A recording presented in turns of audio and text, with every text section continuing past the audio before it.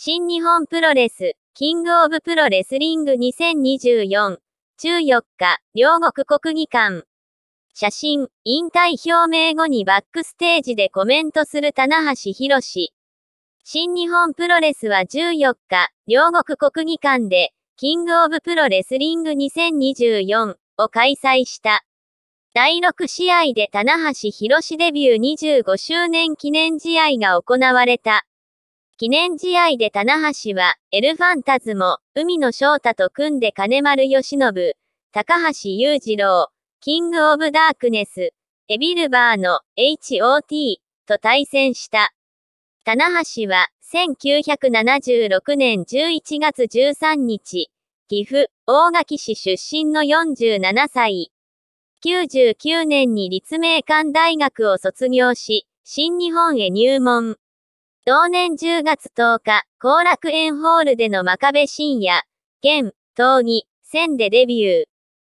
2006年7月17日、ユーヘビー級王座決定トーナメントを制して最高峰ベルトを初体感。7年8月に G1 クライマックス初制覇。G1 は15年、18年とこれまでに3度優勝した。2012年には U ヘビー級王座を11度防衛し最多防衛の新記録を樹立した。同王座は8度体感した。23年12月に新日本プロレスの代表取締役社長に就任。アントニオ猪木さん、坂口誠二氏、藤波辰巳に続く史上4人目の選手権社長となった。記念試合で HOT の狂気を使った悪の連携技に苦しんだが、高橋へスリングブレードからハイフライフローを叩き込み勝利を飾った。勝利のリングで棚橋はマイクを持ち、あっという間の25年が経ちました。これもひとえに皆さんが熱い声援、時々ブーイングを送ってくれたおかげと思っています。ありがとうございました、と感謝。続けて、多くの皆様の前でいつまでも戦っていたい。戦っていたい思いはありますが、と絶句し、棚橋のゴールを決めました。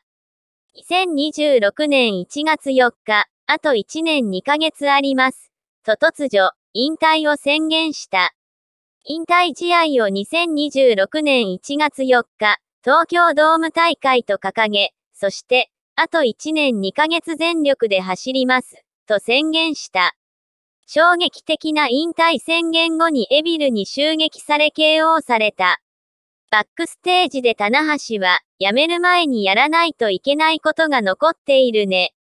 トーチャーのこと、新日本プロレスのリングをもっと盛り上げること、特徴すると、翔太たち若い世代に大いに期待している。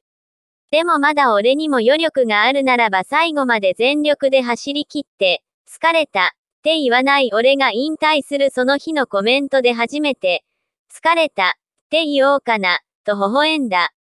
そしてそれまでは疲れない棚橋博士。全力の棚橋博士。社長でもレスラーでも100%で新日本プロレスのファンに楽しんでもらうから期待してください、と約束していた。